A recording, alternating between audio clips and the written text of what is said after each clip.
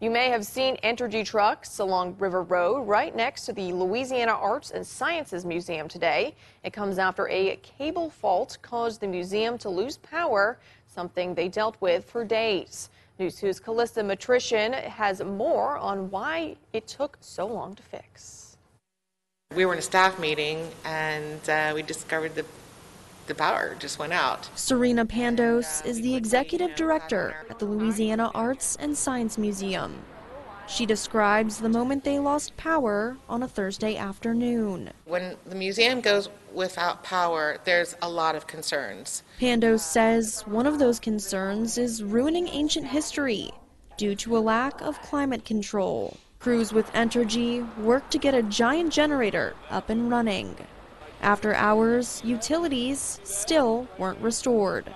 We had several hundred school children um, booked for museum tours and hands-on activities that very next day. So we just determined that we were going to have a great day, that we were going to make it a great day. The science wing and the planetarium completely in the dark.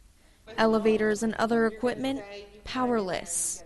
But natural light presented other opportunities art activities, a trip to the Triceratops, and an extra spooky visit with an ancient mummy. Come the next day, the museum's still without power. Entergy crews once again working to get it fixed.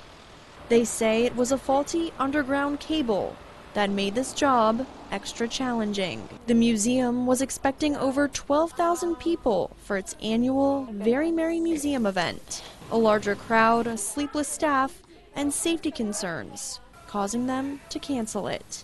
We had two school buses outside this morning from, uh, you know, a parish waiting in line to get in, and so, uh, yeah, it hurts. They weren't the only ones disappointed. Came here to see to to see everything at the museum and play fun activities. The museum made sure their trip wasn't entirely ruined. Over 50 hours without power, and still they filled faces with smiles. Pando says it's the impact they have that makes a difference. It just makes it all the more contagious when we see those light bulbs go off, literally. no puns intended here talking about power. In Baton Rouge, Callista Matrician, WBRZ News 2.